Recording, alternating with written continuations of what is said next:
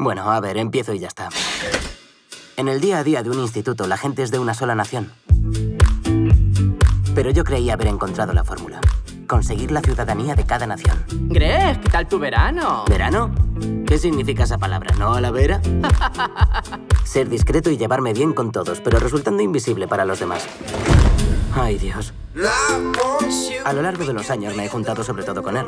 Es más bien un compañero de curro. Pero nos gustan las mismas cosas. Tetitas. En fin. Cariño, Joder. tu padre y yo queremos hablarte de algo triste. ¿Qué?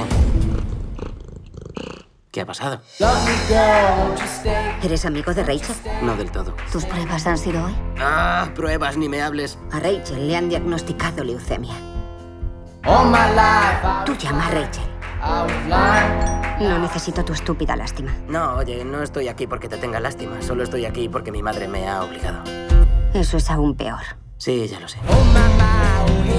Deja que me quede contigo solo un día. ¿Eso es un saludo del Black Power? Es para que choquemos los puños. No puedo hacer eso desde aquí. Ya me doy cuenta. ¿Sois compañeros de trabajo? Hacemos películas. Las hacemos desde que éramos críos. Esa es buena. Si esto fuera una historia romántica conmovedora, de repente acabaríamos besándonos con el fuego de mil soles.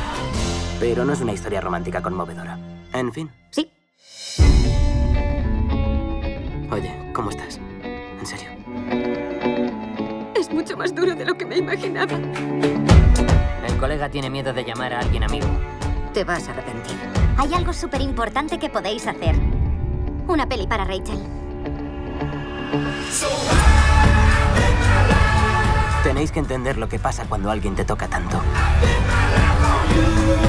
Te deja noqueado. Eso es justo de lo que estaba hablando. ¿Qué? ¿Quieres a la chica? Ah, ¿Qué? Eres un buen amigo. Nadie ha hecho más por hacerme sonreír. Y nadie lo había conseguido. Vais a estar haciéndolo encima de mi tapizado de cuero toscano, ¿eh? no, creo que... ¿Qué has dicho? No, para nada. ¿Qué?